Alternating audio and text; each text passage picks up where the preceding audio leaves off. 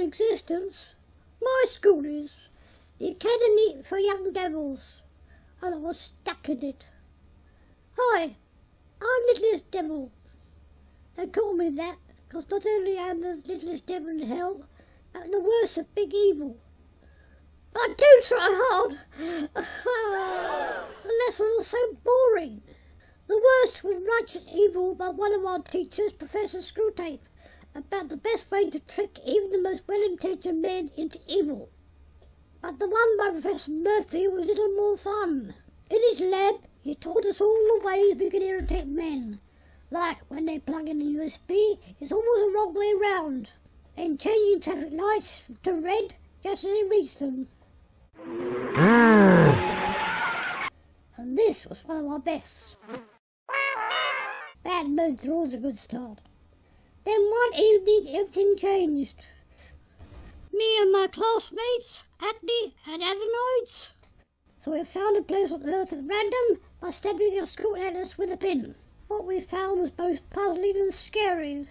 A lot of rich kings visiting a couple of buses at a dirty stable. Then a huge flying salute by a bunch of angels.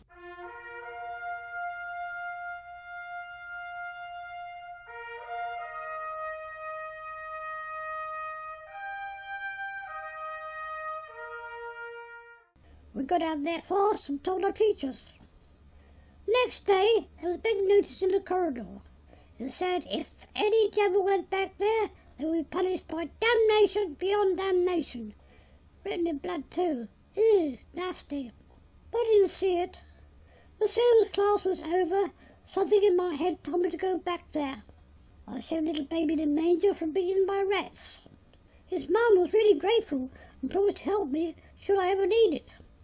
She was called Mary. I sort of got the impression that she and the kid were something special.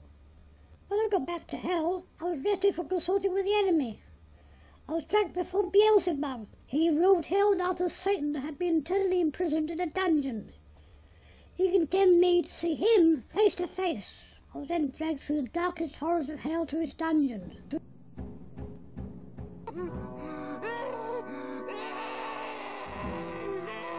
Definite damnation beyond damnation.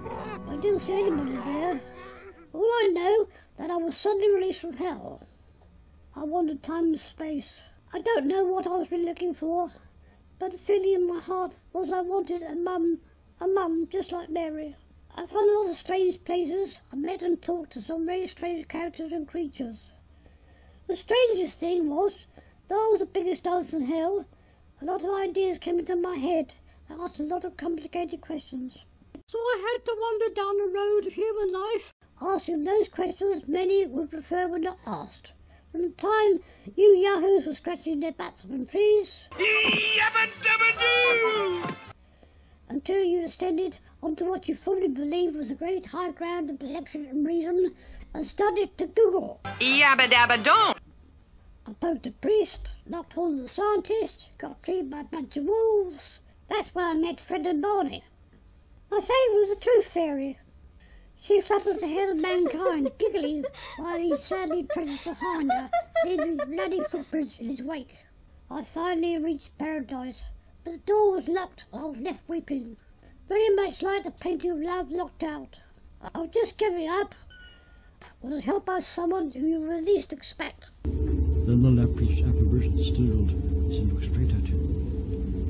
Surveyed him for some moments, then the wall was a sealed door.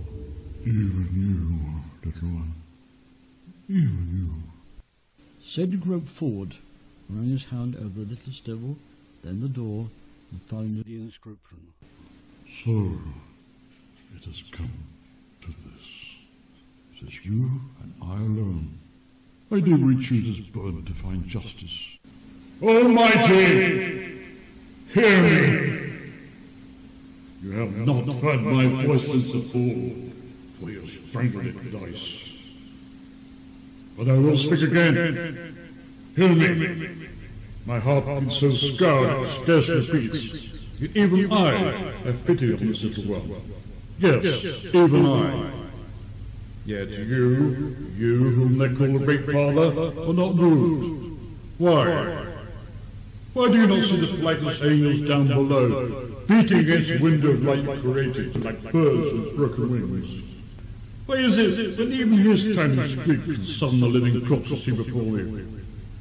You remain unseen, silent, and uncaring.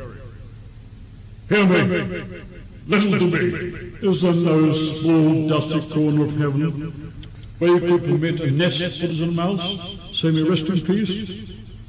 It's such a small one, and this is such a small door. Will you not open it? One may hardly drought, you, worry in the golden sun of paradise, would not even notice it. It is so little to ask. Can you not grant even that? Why? Why?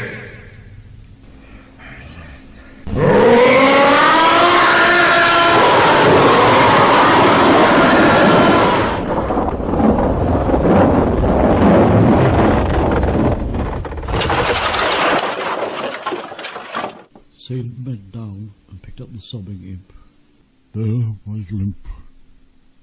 It is open. For a moment he held Littlest and kissed him tenderly on the head. Then he put him through the new open doorway. Go. Find happiness for both of us. All this while, Littlest had kept his eyes, blinded by the tears, tight shut against the horror.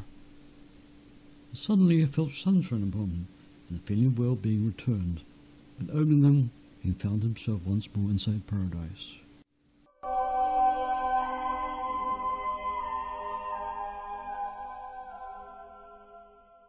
I'm not sure what happened after that.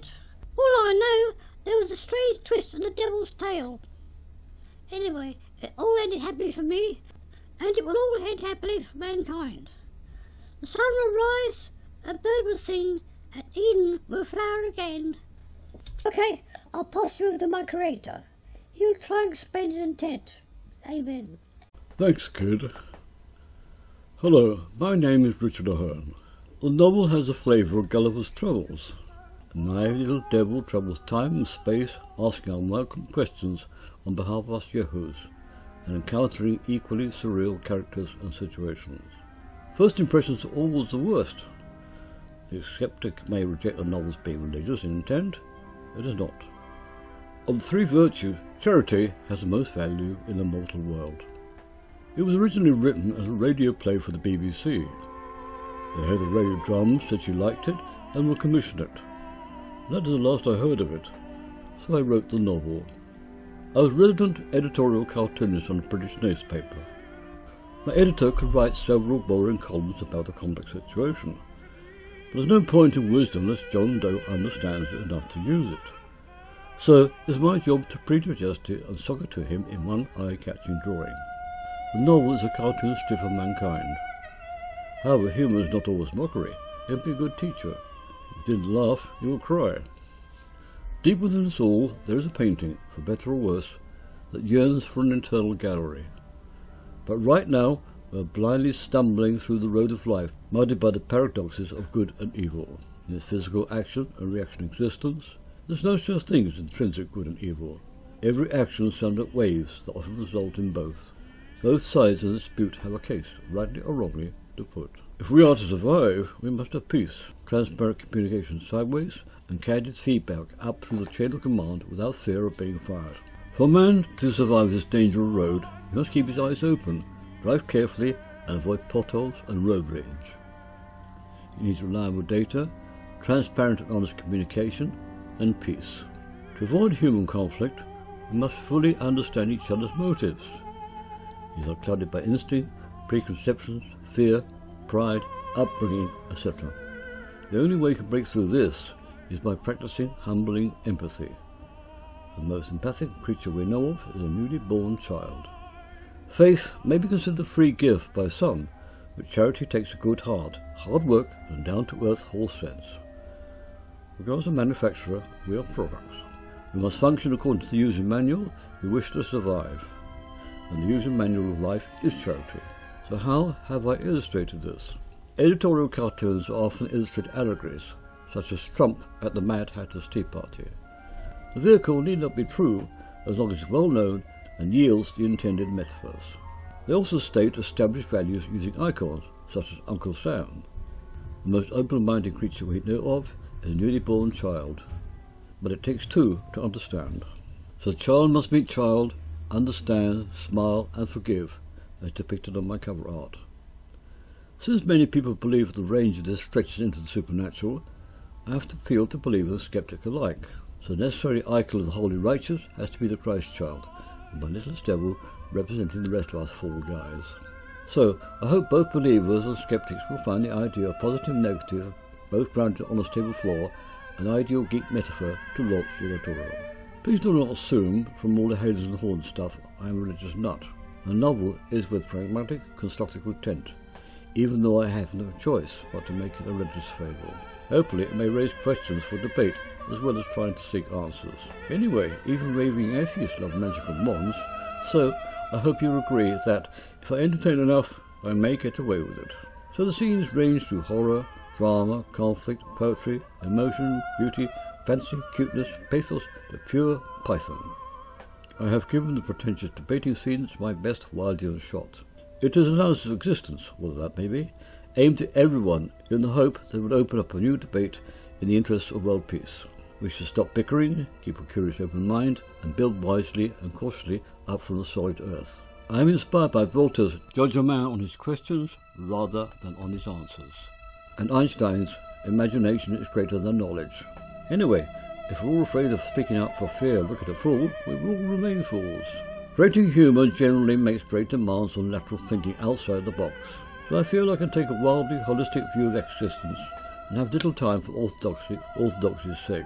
I hope at least to sow a new seed that may bear fruit in better minds than mine. After all, it is said that Newton got bonked by an apple, and the rest is history. Not only do I deal with moral dilemmas, but with other problems that threaten humanity, such as this. I have ideas about protecting the environment, reducing global warming, and overpopulation. Ironically, overpopulation may be pleasantly solved by a rapid fall in male sperm count. Also suggest methods of reducing crime, corruption, and tax evasion.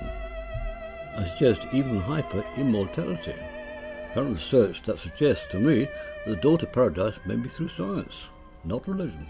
So, the message of the book is of faith, hope, and charity. The greatest of these is charity. Archaeology has discovered that even cavemen cared for the disabled. So love is natural. It flows up from the earth, bringing real hope and happiness in this world, whereas faith only promises it in the next. So I'm selling insurance for believer and skeptic alike.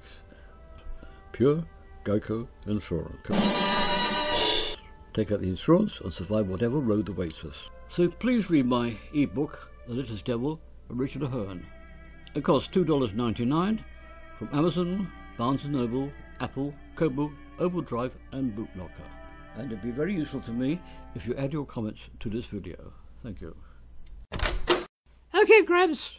Just off to school. Okay, kid, be good, okay? Yeah, yeah, yeah, yeah. You silly, twisted boy.